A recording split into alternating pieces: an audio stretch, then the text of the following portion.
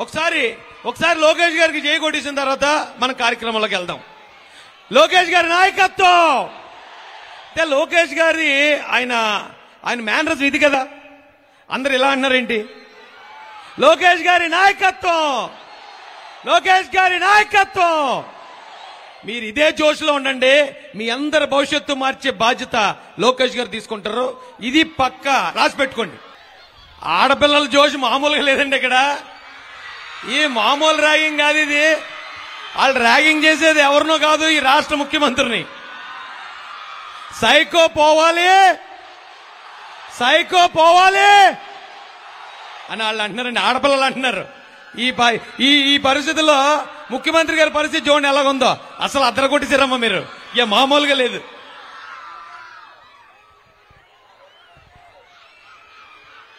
సరే అమ్మా ఇప్పుడు ఒకవేళ మీరందరూ మీరందరూ అంటలేదండి. మీరందరూ ఒక టూ మినిట్స్ ఆగండి తల్లి. ఒక ప్రశ్న అడుగుతాను అన్ననే. మీరు మాట్లాడాలి మీరు మాట్లాడాలి. ఒక్క ఒక్క నిమిషం ఒక్క నిమిషం సైలెంట్గా ఉంటే మన అభిమాన నాయకుడు ఆయన ఒక రెండు మాటలు మీతో మాట్లాడతారు. ఒక్క ఒక్క ఐదు నిమిషాలు ప్లీజ్ ఇప్పుడు ఈ రాష్ట్రాన్ని యోగాళం పేరుతో ఉర్రే ఉర్రూతులొగిస్తూ ఎంతో మంది సైకోల్ని ఎంతో మంది రాక్షసులు లాంటి వాళ్ళని రియల్ విలన్స్ కూడా దాటుకుని ఈ రాష్ట్రాన్ని మొత్తం యువతనందరినీ చైతన్యం చేసిన మనందరి ఆదర్శవంతమైన నాయకుడు మనందరూ ఆదర్శంగా తీసుకోవాల్సిన నాయకుడు ఒక ఐదు నిమిషాలు మీతో డైరెక్ట్గా మాట్లాడతారండి. దయచేసి ఒక్క ఐదు నిమిషాలు సైలెంట్గా ఉండండి ప్లీజ్ లోకేష్ గారు మీతో మాట్లాడతారు. రాజేష్ గారు ఇది యువగలం ఎవరు సైలెంట్గా ఉండరు ఇక్కడ.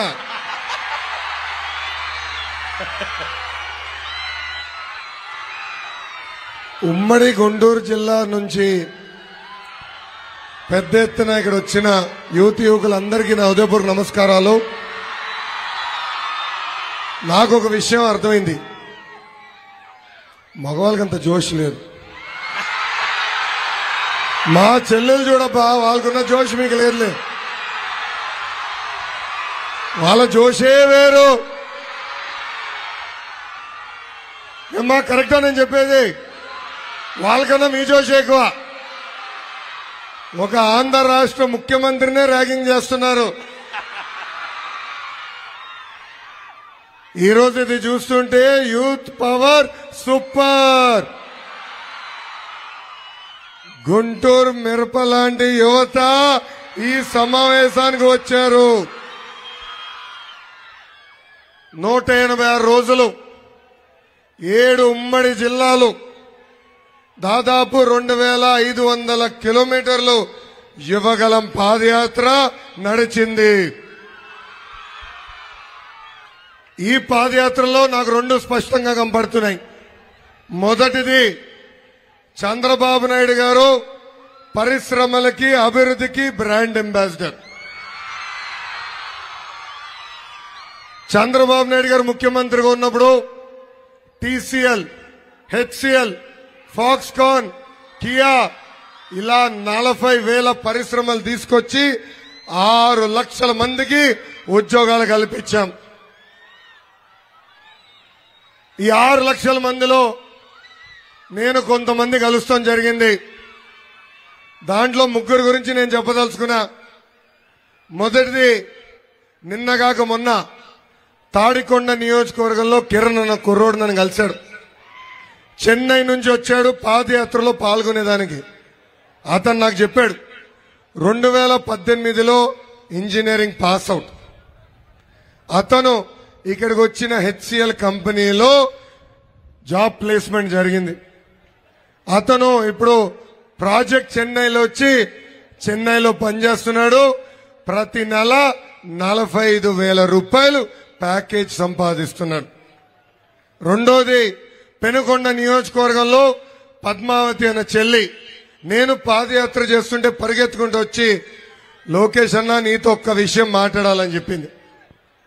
ఆమె కియా అనుబంధ సంస్థలో పనిచేస్తూ ప్రతి నెల ముప్పై వేల రూపాయలు పద్మావతి అనే చెల్లి సంపాదిస్తుంది. ఆ చెల్లిని అడిగా ఈ ఉద్యోగం రాకుండా ముందర ఏం చేసేవాళ్ళు చెల్లి అని.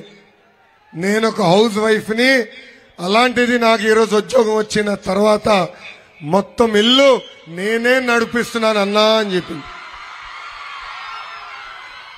మూడోది శ్రీకాళహస్తి నియోజకవర్గంలో ఒక పెద్ద వచ్చి నన్ను కలిశాడు.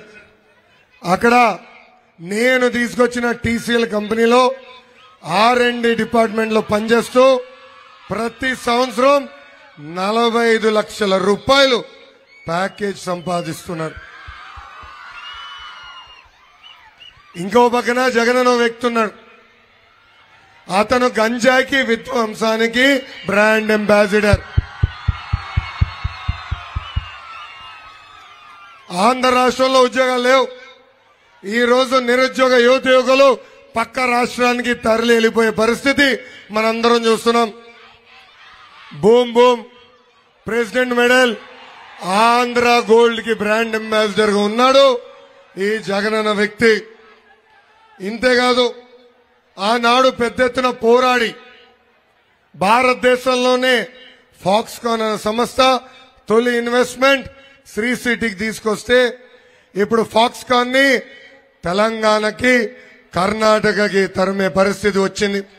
హెచ్ఎస్బిసి ఫాక్స్కాన్ అదేవిధంగా అనేక పరిశ్రమల్ని అమర్ రాజా లాంటి పరిశ్రమల్ని ఈరోజు పక్క రాష్ట్రానికి తరిమేస్తున్నాడు ఈ సైకో జగన్. ఇక్కడ ఉన్న వాళ్ళు మనందరం ఆలోచించాలా? ఈరోజు పరిశ్రమలకి ఎప్పుడు లేని విధంగా పవర్ కట్లు జరుగుతున్నాయి.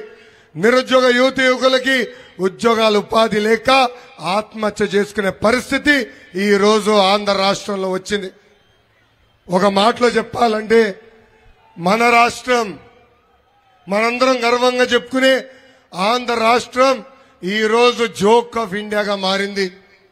స్టాండప్ కమెడియన్స్ దగ్గర నుంచి యూట్యూబ్ కానివ్వండి ఇన్స్టాగ్రామ్ బ్లాగర్స్ వరకు అందరూ ఆంధ్ర రాష్ట్రాన్ని ఎగతాలు చేసే పరిస్థితి ఈరోజు మనందరం చూస్తున్నాం.